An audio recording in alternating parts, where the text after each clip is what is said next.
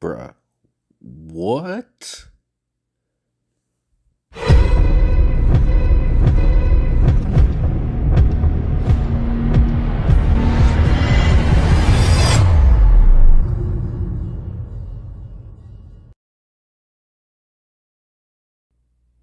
What's up, everybody? Belligerent here with another Bloodline video, and we're talking White Eye today. They just dropped the video to give us a preview of the clan, which they've started doing. So let's take a look at them and decide whether or not this is an event that you're going to want to go in on. Are these champions that are going to be relevant in our meta? Now, obviously, this is just speculation. Stay tuned because we're going to do play testing as soon as they come out. We're running the gauntlet of the event as soon as they drop. And then, so very early on in the event, we're going to have some feedback from actual play testing.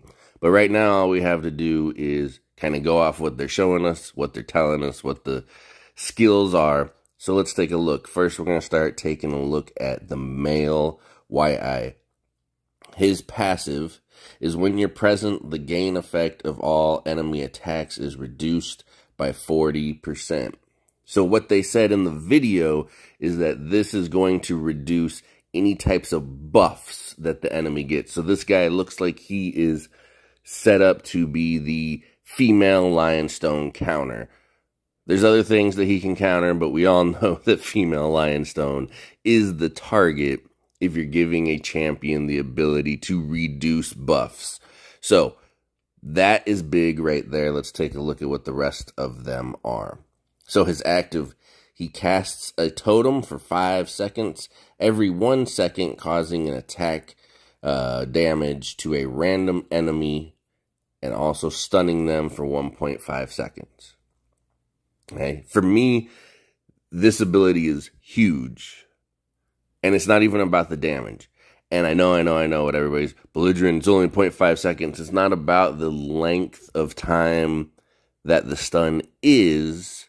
It's just that it's a stun. It's an interrupt. So you're going to interrupt attacks, which is going to slow down energy gain. You're going to interrupt abilities. You're going to interrupt a lot of stuff. And it happens five times. Okay. So that's big to me. I really like that stun effect on that ability. And then his ultimate casts a bloodthirsty totem. All your characters' attack speed will be increased by 20%, and the attack power will increase by 200%, lasting 5 seconds. Y'all know what that is, right? That is a baby F Lionstone. Okay? He doesn't have quite as much strength increase. Okay? Only about half, actually but you, it's 200, it's still 200%. Okay. That's big. That is a female Lionstone mini version as far as the ultimate is concerned. All right. So let's take a look at the female now. Her passive. For every one normal attacks gains a layer of bestial blood and stacks up to 20 layers. Okay, that plays into her ultimate, which we'll see here in a minute. Her active is when the champion's health is over 50%, she casts a Fury Totem, which reduce in your team's attack power being increased by 80% for 5 seconds. When the health is below 50%, you cast a Trembling Totem, which reduces the enemy's attack by 80% for 5 seconds. So, this one is like okay so the 80% buff is off top of my head i believe that's the third largest attack buff behind female Lionstone and male White Eye. It's also an active, so it should give you some uptime on attack buffs that are different than Lionstone and male White Eye will. Okay. The problem is it's an active. So the it's going to be almost impossible to time it to go off the way you want, kind of how you can with the ultimate.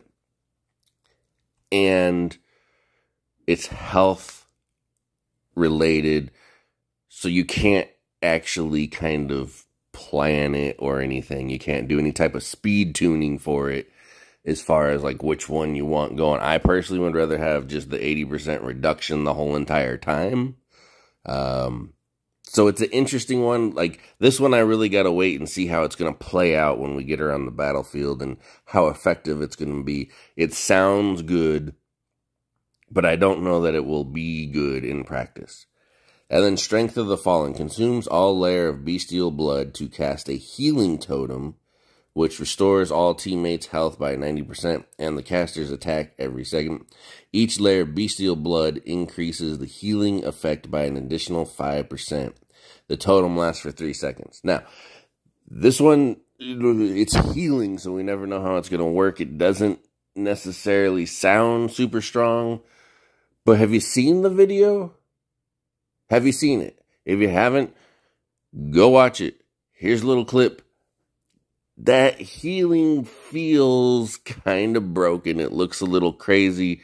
But again, we don't know how souped up she was for that video. We don't know what level, what stars they're using for in that video. But that healing ability looks pretty strong.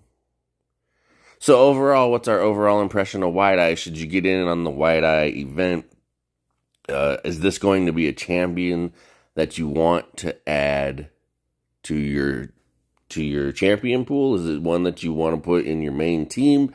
Uh, what do, what do you think? What do you think? Well, this is what I think. I think White Eye is going to be a must-have champion, especially the male. I'm much higher on the male than I am the female, but the female I have some hopes for after seeing that video. But you're not going to play them both, especially because they're.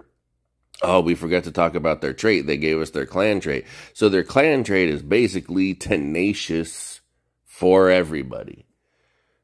Which, so it gives the entire team shields, okay, for the first, uh, I believe it's 10 seconds of the match that's tenacious, basically. So nobody needs to put tenacious on your champions anymore. Not that you really should have been in the first place, but it doesn't stack. So there's you lose value when you put if you're going to try and play both of them. I don't think you have enough room on your board to play both of these. So it's going to be one or the other.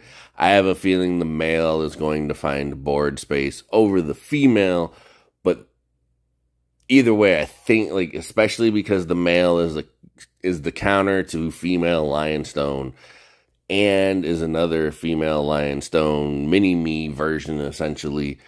I think he's going to have to be on your board.